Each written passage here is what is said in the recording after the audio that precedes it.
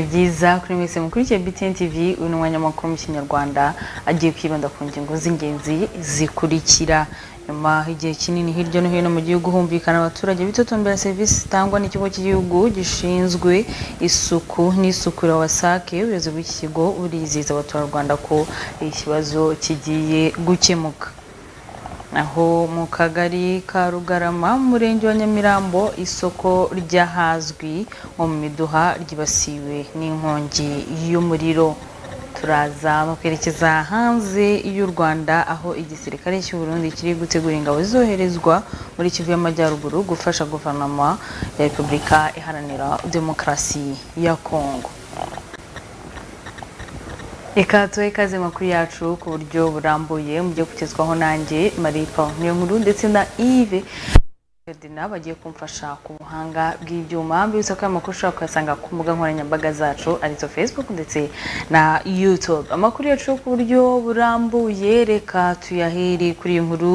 Aho nyuma y'igihe kinini hirya no hino mu gihugu humvikana abaturage bitotombera serivisi zitangwa n'ikigo cy'igihugu gishinzwe isuku n'isukura wasake ubuyobozi bw'iki kigo bizeza. Abaturarwanda bose ko ikibazo kigiye gukemuka ikibazo cy'amazi. Ni kimwe mu bibangamira imibereho myiza y'abaturage mu mujyi no mu cyaro hirya no hino mu gihugu aho mu rwego rwo kuvugutira umuti urambye ibibazo n'ibindi byose bibangamira imitangire myiza ya serivisi z'amazi guverinoma y'u rwanda yavuguriye imiyoborere ya wasake ihinduka wasac group aho wasac group igizwe na sosiyete ebyiri zirimo ishinzwe gukwirakwiza amazi ndetse no kuyishyura mu gihe indi ishinzwe kubaka ibikorwa remezo by'amazi ndetse n'imishinga. Umuyobozi mukuru wa wasac group profeseri munyaneza omar avuga ko aya mavugurura azafasha ikigo kunoza imikorere. Wasac ivuga ko kugeza ubu mu mijyi mirongo irindwi n'ibiri ku ijana babona amazi muri ntera itari hejuru ya metero magana abiri ariko mu cyaro mirongo itanu na gatandatu ku ijana bakaba hari bafite amazi mu ntera itari hejuru ya metero magana atanu. Iki kigo kiratanga icyizere ko kigiye gukaza ingamba kugira ngo amazi meza hagezwe ku baturarwanda ndetse hanasanwe ibikorwa remezo hirya no hino mu gihugu byangiritse mu bihe bigiye bitandukanye. Naho mu gitondo cyo kuri uyu wa mbere mu murenge wa rusororo akagari ka mbandazi umukecuru witwa akimana clementine yishwe n'umuturage ufite uburwayi bwo mu mutwe amukubise isuka. Jeremy iradukunda.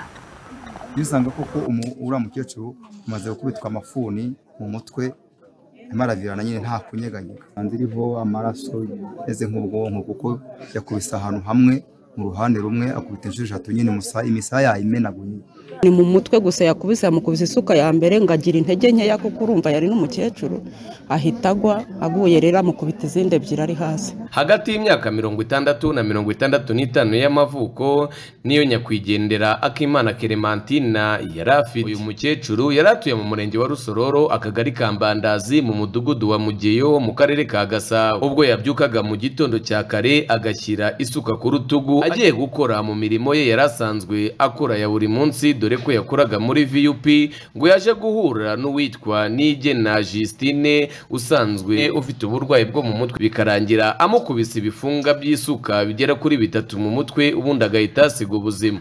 Ese ubundi kugira ngo ajye kuhasiga ubuzima byatangiye bite? We rero yaje hano hano ni ho avuka ubundi ariko si hatuye.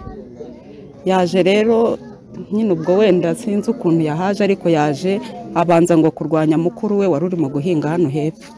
Amwaka iyo suka. Iyo suka yakubise k'imana ni mukuru we wari urimo kuyihingisha. Niwe yari ayatse bayirwanira nyine. Yamurushije imbaraga arayimwaka umukuru we nyine arahunga n'uwo muhungu we wamutabaye ngo bayikingirana mu nzu. Ahura na k'imana azamuka yari agiye gukora muri viyupi bari bamaze iminsi mike babahaye akazi ko gukora mu muhanda hari saa kumi n'ebyiri iminota icumi. Ubwo nageze mu murima noneho numva induru iravuze. Ni umuturage umwe aravuze ngo wigenderaga ngo ni ngo ni ba bandi ngo bo mu muryango ngo basubiranyemo. Noneho ugeze aho ngaho haciye akanya numva umuntu arimo aravunda urugi rw'inzu. Avuga se mama umugabo n'umugore nibo barimo barwana. Ngeze aho ngaho mbonye umuturanyi wo hepfo y'umuhanda azamutse yiruka. Nibwo nanjye na isuka nayiretse nyiha umwana ngo ayijyane kuyibika. Ndaza ngeze hano hafi numva umudamu umwe aravuze ngo aramwishe we ngo aramwishe we mpita nisanga koko uriya mukecuru amaze gukubitwa amafuni mu mutwe arimo aravirana nyine nta kunyeganyega dore iyi ngiyi twasanze iriho amaraso ameze nk'ubwonko kuko yakubise ahantu hamwe. Mu ruhande rumwe akubita inshuro eshatu nyine imisaya yayimenaguye hageze n'abandi baturanyi baje ari bwo baje kudutabara nawe yirukanse bahita bamwirukankana baramuzana. Nyine umukecuru we yari yaguye yamwishe. Nsanze amaraso arimo kuva atemba ariko nyakwigendera urebye yari yashizemo umwuka ni umutima wari utarava mu nda. Yageraga gutyo ukabona aranyeganyeze gake ariko ni umwuka wari utarava mu nda. Mpita murambikaho igitenge nk'umubyeyi wacu. Igikomere yari afite nabonye igikomere hano mu mutwe bamujya mu kubisisuka. Ahandi mbonye ni ahantu hahumbanye hano mu kwitama ubwo yavaga n'amaraso mu matwi. Eh, oya we yari amaze kubura uwo afata hano kuko twari dukinze tugiye mu nzu anyura hano aza n'ugiye kuzenguruka hari ngo anyure kuri uyu muryango simbizi. Ahura n'uyu ngo rero yigendera mu rugendo ahita ngo yari agiye mu kazi. Mu gihe arimo amuvugisha nk'umuntu asanzwe azi ngo ahita atangira kumukubita eh, aramwica. Aba baturage bavuga ko ntako batagize bahamagara inzego bireba ngo zibe zabatabara. Gusa kuva saa kumi n'ebyiri n'igice za mu gitondo kugera hafi saa yine ngo nta rwego na rumwe rwari rwahageze. Gusa natwe ubu byatuyobeye aho umuntu apfa saa kumi n'ebyiri bikageza aya masaha nta nzego z'ubuyobozi zari zahagera. Nari saa tatu na makumyabiri n'irindwi. Uyu ni igena Justine ufite uburwayi bwo mu mutwe ngo yahajyanwa ahabugenewe bakaba bamukura muri rubanda dore ko ngo iyo yaje muri aka gace bahuye wese ngo aba ashaka kumuhohotera. Kuko we iyo biganguye akaza hano mu rugo iyo bamubujije gufata ikintu cyangwa se byamu- byamwohereje kuza hano. Ni ukurwana nta kindi yatabonye abamuboha. Ubwo ni uko nyine induru ziravuga. Umunyamabanga nshingwabikorwa w'aka kagari ka mbandazi ku murongo wa telefone yatangarije BTN TV ko bagishakisha ibipapuro bigaragaza ko uyu nigena yaba afite uburwayi bwo mu mutwe gusa ubwo bageraga mu rugo aho uyu mudamu yari atuye umugabo w'uyu mudamu bikekwa ko ari we wishyuye umukecuru ngo nawe yahise ahunga kugeza ubu ngubu nta kimenyetso na kimwe barabona. Twagerageje gushaka ibyemeza ko arwaye. Rero dusanga umugabo we yamaze kumenya ibyabaye ahita nawe atwihisha. Inzu yabo yari ikinze turacyashakisha twari tukibirimo ubu ni bwo tukibivamo tugiye gukomeza dushakishe piyesi ko ziboneka. Twabamenyesha. Hagize ikiboneka kiyongeraho twabamenyesha BTN TV ubwo yavaga aha inzego z'umutekano zari zimaze kuhagera mu gihe umurambo wa nyakwigenderawo wari ukiri ahangaha yiciwe ndetse kandi n'uyu nguyu bikekwa ko ari we wahitanye ubuzima bw'uyu mukecuru nawe yari atwawe n'inzego z'umutekano. Ngendije Hami iradukunda iyi ni BTN TV mu mujyi wa Kigali. Naho mu kagari ka rugarama mu murenge wa nyamirambo isoko ryahazwi nko mu miduha ryibasiwe n'inkongi y'umuriro aho mu baturage cyangwa se abakorera muri iri soko bavuga ko nyirabayazana ari abakora akazi ko gusudira. Janvier kamanzi. Ahagana ku isaha y'i saa saba zo kuri uyu wa mbere mu kagari ka rugarama mu murenge wa nyamirambo ahazwi nko mu miduha inkongi y'umuriro yibasiye isoko rya miduha. Aho bamwe mu bari aho bagaruka ko intandaro yo gushya ku isoko yaturutse mu nzu y'ubucuruzi y'ubucuruzi bita buri kantu biturutse mu gusudira nk'uko bigarukaho. Aha nyine ba- bari barimo gusudira hano kwa buri kantu hanyuma uh, uwari uri gusudira bikora siriko buri muryango ugenda ushya ushya ushya noneho abantu bakomeza gusohora ibintu abantu nabo bava mu isoko babijyana inyuma y'intuze ya kaburimbo. Abantu bose barimo kwiruka buri muntu wese yirwanaho kugira ngo turebe ko hari ibintu twarokora. Ariko abantu benshi nta bintu bakuyemo ibintu byinshi byahiye. Hariya kwa mudive amakayi yose twari tugiye kugurira abana amakayi harimo n'amavuta n'ibindi bikoresho n'amamari byose byahiye. Abantu benshi dutashye nyine nta kintu tubuze. Urebye kwa mudive hari harimo nka miliyoni hafi nka makumyabiri hano kwa buri kantu nka miliyoni eshatu gutyo n'igice. Mu isoko hano isoko ryose urebye isoko ririmo nka miliyoni ijana. Izo ngewe nkeka ariko ntabwo izindi nziza. Yari- uwo muntu wari urimo kugira gusudira kwa buri kantu nyine afite mashini insinga rero zikora siriko ni bwo bw- byahise bisha bo ntibihutira kujya kuzimya bihita bitangira gufata buri muryango wose. Twumvaga bikaze cyane kwiyakira byanze bamwe batitira abandi birukanka bamwe bakiza amagara yabo mwaba mukoze. Harimo hashya umuriro uzamuka umuriro mwinshi cyane wari uteye ubwoba. Igihombo kirimo gikomeye cyane. Harimo n'aho byahiye bishiramo burundu. Tugiye kubona tubona umwotsi mwinshi cyane.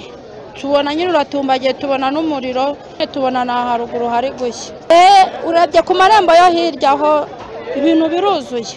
Ab'imyenda cyane cyane nkatwe tw'amakara ntabwo twari kubasha kubisohora.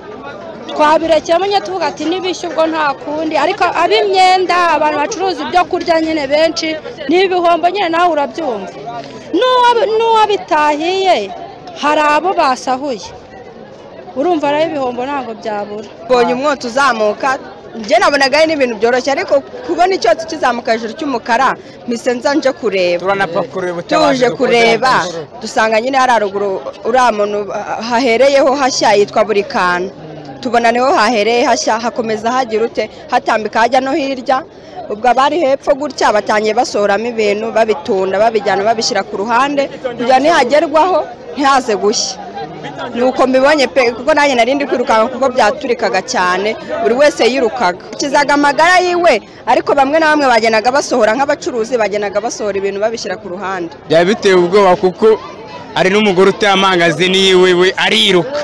Avuga ati ngiye singiye kubikurikira ubwo ibyo urumva nk'uwo mugore se ejo nagaruka urumva amangazini yiwe atazasanga bayatwaye. Asibe ku isuka kuko yirutse we nta n'umuntu yasizeho. Intandaro bituruka kuba ari amashanyarazi bacomeka nabi kuko n'ubundi ari igihe byiyongoza bigatwika ahantu. Ni ikibazo cy'amashanyarazi. Ni amashanyarazi kuko ariho n'igihe gutya bigira gutya bigafatara mu isoko n'ubundi agace na kamwe abaturage barabizi bakongera bakazimya. Byabagaho rimwe na rimwe. Ku rundi ruhande mu nkundura yo guhungisha ibicuruzwa byabo byari ingorabahizi kuvangura ibicuruzwa byabo ubwo inkongi y'umuriro yacogoraga. Ibintu byose urabona ko hano hanze biravangavanze bagiye bakora ubutabazi bwihuse ibintu byose bagendaga banaga hamwe kugira ngo ibintu bye guhira ahantu hamwe gusa. Ariko benshi bamwe abaturage bakoze ubutabazi baratundurira ibintu byabo barabibika bagira gute? N'uhomba araza agomba dukeya rwose. Abaturage ntako batagize. N'ubu nanjye ni umutipe ari umugore. Dutundurira amangazini yose yose. Kubera ibintu babivangavanze bagiye babivangavanga ntibabeshyire abaturage. Nta muntu wabibye ahubwo bo baraza kwibana kubera imari bazivanze. Isoko hirya babisohoye urumva n'abajura nuko abiba bari kwiba nyine. Nta kundi yego. Buri wese yatwaraga nyine utwe tu. Cyane ko hari n'ababa badahari hari uba atabanyutse agiye kurya hari uba agiye kugira utwo ategura mu rugo avuga ati ndaje. Urumva nk'uwo nyine babitwaye. Abiba bariba nyine bose ntabwo bagenzwa na kamwe. Abagira ute basohora ibyabo bakabisohora bimwe bagendaga baterera bimwe hariho banabishyize ahatariho n'ahariho. Bakomeza basaba ko ubuyobozi bwafata mu mugongo abagizweho ingaruka mu kuzahura ubucuruzi bwabo. Icyifuzo ni ko abantu bashinzwe ibintu by'amashanyarazi bya elegitoronike bakotora bakareba abaturage bakarya bareka kubahombya. Eh, na kandi na leta na yo ibafate mu mugongo abaturage. Nibyo byifuzo nasabira abaturage. icyifuzo ni uko igihugu cy'u rwanda cyafasha abaturage binaha mu miduha bakadufasha kugira ngo twongere twiteze imbere kuko habayeho igihombo cyinshi abantu bari baranguye kugira ngo abanyeshuri babone ibikoresho abaturage bo mu miduha basubiye inyuma cyane. Inzego z'umutekano za polisi y'u rwanda n'urwego rw'ubugenzacyaha rib n'itsinda rivuye ku mujyi wa kigali n'inzego z'ibanze bari bamwe mu bari mu bikorwa by'ubutabazi aha kuri iri soko rya miduha. Ubwo twegeraga umunyabanga nshingwabikorwa w'umurenge wa nyamirambo wera claudine yirinze kugira icyo atangaza niba hari ijambo ry'ihumure ku bagizweho ingaruka n'iyo nkongi cyangwa ingamba zitandukanye. Ubwo inzego z'ubuyobozi zizatangaza iby'iyi nkongi inkuru tukaba tuzayigaruka amakuru yacu. Ataha. Janvier kamanzi btn tv umujyi wa kigali. Kambashe mwese mwe mukurikiye amakuru ya BTN TV nshimira cyane Ferdinand ndetse na Yves bari kumfasha ku buhanga bw'ibyuma. Naho ngewe ndi Marie Paul niyo nkuru mukomeze kunogerwa n'ibiganiro byose BTN TV iba yabateguriye.